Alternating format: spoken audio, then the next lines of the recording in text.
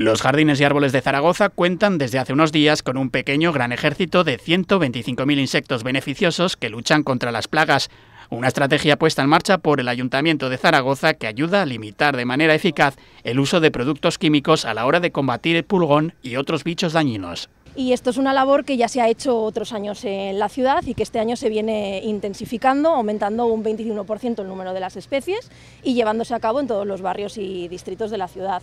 Llama la atención porque es una manera de hacerlo mucho, mucho más natural, evitando el uso de, pesticidas que puedan dañar a los árboles y que incluso puedan ser malos para, para la salud de las personas. Una estrategia que se une a la lucha contra la mosca negra, que también se ha intensificado estos últimos días debido a su proliferación.